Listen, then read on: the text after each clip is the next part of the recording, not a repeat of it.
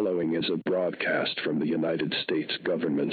Listen carefully to this broadcast, as your life will depend on it. Ignore at your own peril. Over the past two weeks, riots of historical magnitude have broken out across the District of Columbia. Residents partaking in active insurrection against the government and rogue battalions of the military raking off to assist these insurrectionists. With this combined power, the insurrectionists managed to overwhelm the National Guard and capture both the Capitol building and White House, with the hopes of forcing Congress to ratify D.C. statehood in the Constitution.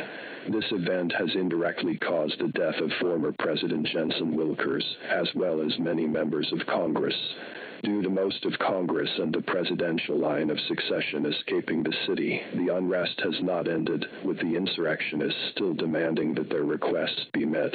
Active insurrection in the heart of our own country will be tolerated no longer. Starting at this broadcast, January 9, 2027, D.C. is under strict martial law, and all previous military restrictions, as well as civil rights, have been lifted, and the military has full power to use means that would usually be unconstitutional. Starting at 7 p.m. tonight, you will return to your home, and you will not leave until 7 a.m. tomorrow.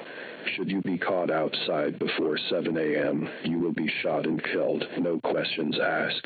If you are currently participating in riots or insurrection, stand now and go home.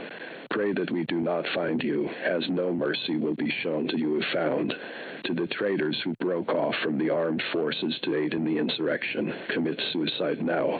We will find you and we will slaughter you.